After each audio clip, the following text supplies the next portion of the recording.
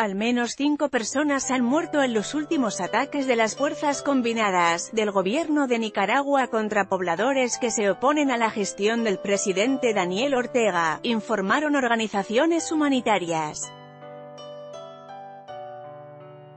En los ataques más recientes, la mañana de este domingo, a las ciudades de Guinóspe y Diriamba, en la zona del Pacífico de Nicaragua, tres personas perdieron la vida por disparos de las fuerzas combinadas, dijo a F una portavoz del Centro Nicaragüense de Derechos Humanos, CNIDH.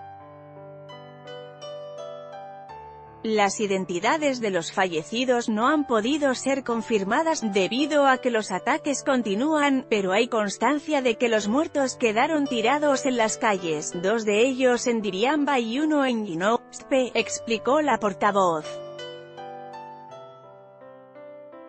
La cantidad de fallecidos podría aumentar, según el CNIDH, ya que los hospitales públicos y privados de ambas ciudades fueron sitiados por las fuerzas combinadas, integradas por policías, antimotines, para policías paramilitares y grupos oficialistas, ataviados con armas de guerra.